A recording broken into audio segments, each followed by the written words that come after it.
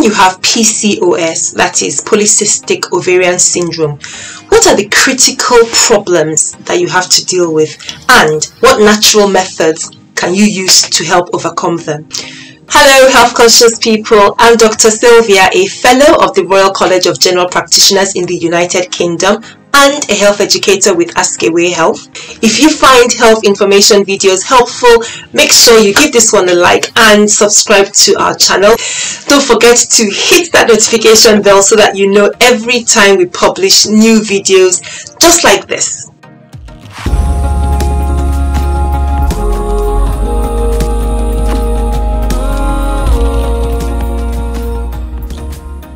I get lots of questions asking about PCOS, how it develops, what you can do to prevent getting it, and most importantly, how it can be treated, particularly people wanting to know about any natural methods that may help the condition. So let's begin. First of all, what is PCOS? Polycystic ovarian syndrome is a condition where there are multiple cysts on the ovary in addition to abnormal hormone balance. Now, a woman's ovary is full of follicles that can develop into cysts. Most cysts in the ovary form when the egg is not properly released from the follicle or after the egg is released, the follicle fails to dissolve properly. A cyst simply means a pocket or empty space within the tissue of the ovary where fluid can collect. Most cysts are harmless. But a woman who has polycystic ovarian syndrome has multiple cysts, sometimes more than 12 cysts on the ovary. In addition to an excessive number of cysts, the ovary in PCOS also produces more male hormones, that is testosterone, than usual. A woman might simply have polycystic ovaries, that is not polycystic ovarian syndrome. When a woman has polycystic ovaries, she has ovaries that are a little bit larger than normal and excess number of follicles, but she does not produce an abnormal quantity of male hormones. So that's the difference between PCO, polycystic ovary, and PCOS, polycystic ovarian syndrome. What are the symptoms of PCOS? Well, we think that the abnormal hormone balance between the male and female hormones leads to problems with the period and the development of cysts in PCOS. It can also lead to abnormal hair growth or hair pattern, for example, excess hair on some parts of the body like the face or the chest in a lady, or thinning hair or hair loss. Other problems include excessive weight, which can sometimes be difficult to lose. There are skin problems like acne or hyperpigmentation, so darker patches of skin on different parts of the body. There can also be pelvic pain problems, mood trouble like depression, um, problems falling pregnant, that is infertility. Now, what are the causes of PCOS, particularly for those who want to know how they could prevent it? What are the causes of PCOS? Well, like many of these conditions, we don't know the exact cause of PCOS, but we do think there are some factors that can contribute or that lead women to developing it. One is having excessive quantities of insulin. Insulin is the hormone produced by your pancreas, which is involved in helping to break down energy and having too little or no insulin is associated with developing diabetes mellitus. When it comes to PCOS, the body is not sensitive to insulin. This can lead to more insulin being produced and sometimes affect ovulation. The second factor that we think is related or relevant to how PCOS, PCOS develops is genetic, that is your genes. It is thought that PCOS can be familial so that if your mother or your sister have PCOS, then there is a tendency that you may also have PCOS. And the third factor is abnormal inflammation. Studies of women who have PCOS show that they have a type of inflammation which makes their ovaries produce more male hormones. Okay, so how do we get to a diagnosis and how can we tell if somebody has PCOS? Some women may suspect they have PCOS if they have a lot of period irregularities, being overweight and finding it difficult to get rid of the excess weight, if they have a lot of acne or abnormal hair pattern or experience hair loss. It tends to become obvious after a woman has started her menstrual periods and the common ages where it's diagnosed tend to be between the ages of 20 and 30. But in a small number of cases, it can happen in girls as young as 11. If you have any of these symptoms, please speak to your doctor. They should talk to you more about your symptoms, ask about your family history, do an examination, get some blood tests to look at hormone levels, and arrange an ultrasound scan to have a look at your ovaries. A special note to think about is that being on the contraceptive pill can sometimes mask the presence of PCOS. Some ladies or young girls get started early on the combined contraceptive pill because they have heavy or irregular periods. The pill helps to regulate the cycle and make the periods less heavy. While this is great at the time, but if the heavy periods or irregular periods are happening because of PCOS, you might not realize that there is a problem until you come off the pill, and which is what happens to a lot of ladies. They come off the pill to try and get pregnant and then struggle with infertility. So it's good to have that in mind for a lady who might be taking the contraceptive pill on a regular basis. Now let's proceed to look a bit more closely at two aspects of PCOS, the type of periods and issues with fertility. So what are the periods like in polycystic ovarian syndrome? Most women with PCOS have irregular periods. This means they may not get a period every month and in fact some women may only get a period less than 8 or 9 times in a year. Next, they might have periods that are all over the place. Some may have in a period that is a different number of days to the last period. Some may have very long cycle, that is the length of time between each period is quite long, for example, more than 35 or 40 days. They may also have very heavy periods and they could have periods that last for a very long amount of time. Irregular periods, of course, indicate a problem with ovulation and egg release, which can have an impact on fertility. And so in PCOS, women can have what is called anovulation. And this means they do not ovulate or release eggs because even though they have follicles containing eggs, they do not mature or develop properly. How is fertility affected in PCOS? Well, we've started looking at how it might develop because of the problem with ovulation. But PCOS is one of those conditions where there is a spectrum in terms of the severity of the symptoms and the effects. So on the one side of the spectrum, some women may have light or moderate symptoms that do not affect their fertility, while on the other side of the spectrum, you might have women with a lot of PCOS symptoms that are quite severe. So the point I'm trying to make is this, that not all women with PCOS will experience fertility problems.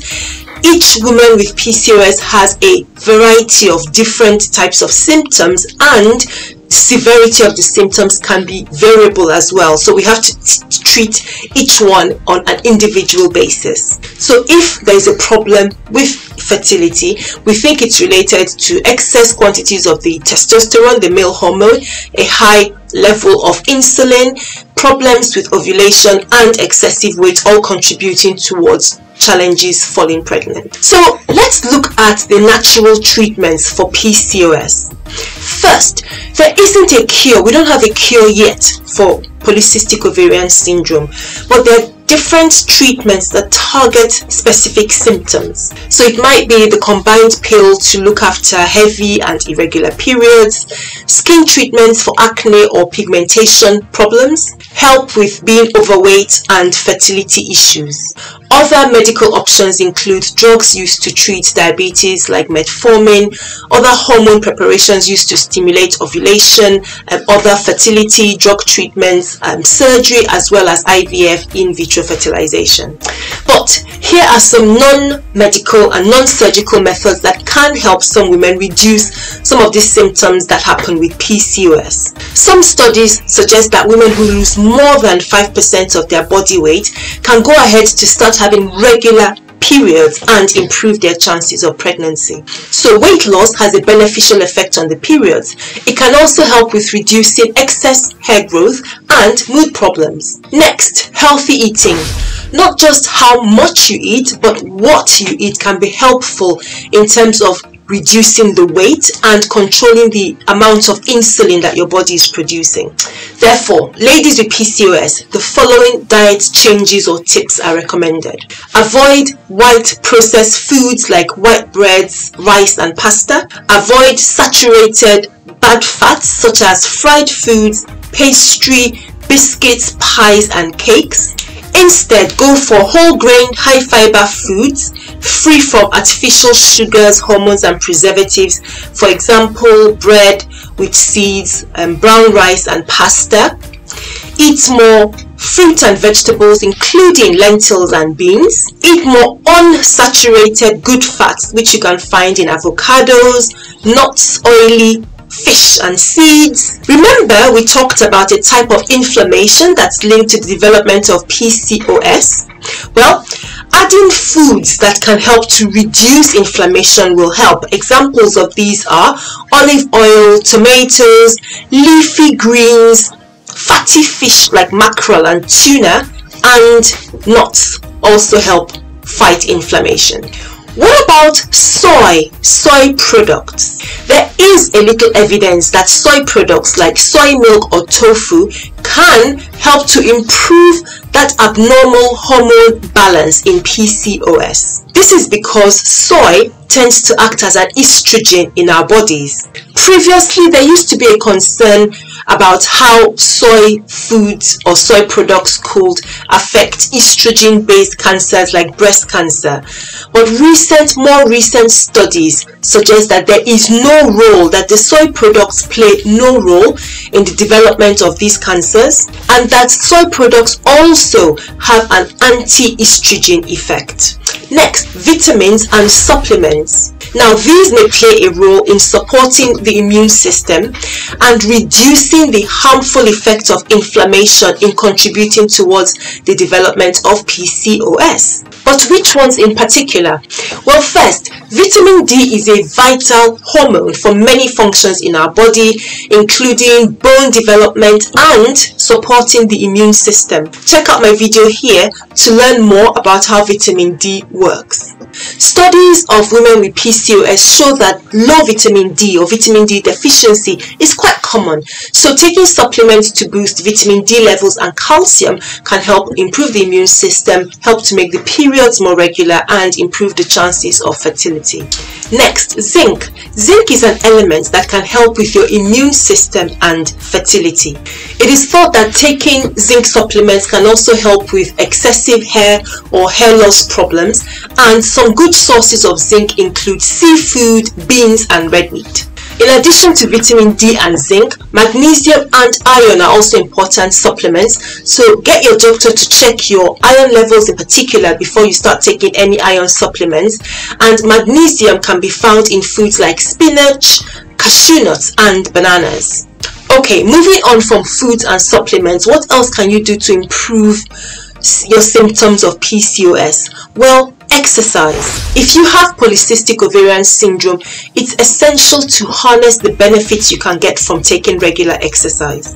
In addition to weight loss, it also helps you keep the weight off, it helps to strengthen your muscles, and is really important for improving your mood and dealing with stress. So get moving. Choose exercises that help to get circulation going like aerobics and weightlifting. In addition, cut out habits like smoking, excess alcohol, excess caffeine consumption. Some studies suggest that taking too much coffee or caffeine can affect your estrogen levels and hormone behavior. So please watch the coffee intake. So my health conscious friends, that's just a little bit about polycystic ovarian syndrome. A lot of ladies with PCOS can get their symptoms under control, go ahead to get pregnant and start their families with the right treatments. I emphasize the importance of getting tested early so you can know as soon as possible if you have PCOS and put in place the right measures to manage your symptoms and prevent the development of complications because yes PCOS can lead to other conditions, for example, type 2 diabetes or metabolic syndrome, high cholesterol levels, which can in turn lead to problems like high blood pressure and heart attacks. It can also be um, linked with problems like obesity, mood problems, including depression and bipolar disorder. And in later years, some women with PCOS may develop womb cancer. So that means apart from learning what the diagnosis is and managing the symptoms, regular monitoring is important for women who have PCOS. If you would like to talk more about PCOS or get some clarity about the symptoms, then you can schedule a one-to-one chat with me. Here's the link and I'll put it down in the description box below. Let me know if you found this video helpful. Drop a line in the comments below. Don't forget to give it a like and please do consider subscribing to the channel and turn on that notification bell. Next time we're going to be looking at ways to prevent repeat urinary tract infections. I know it's a big problem so make sure you have clicked that bell because I'm going to be telling you what you can do to save yourself from having frequent UTIs. While you're waiting for that video to go live, check out these two here and I'll see you again soon. Thank you so much for watching and stay healthy.